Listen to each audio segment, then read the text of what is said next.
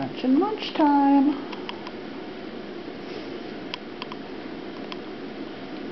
Crunch and munch time.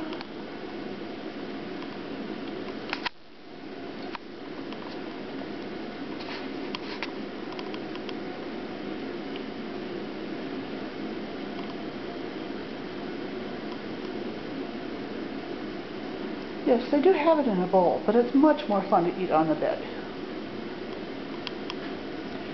And then we swing over here to little Miss Buttercup, who's laying in bed chewing on a chew toy.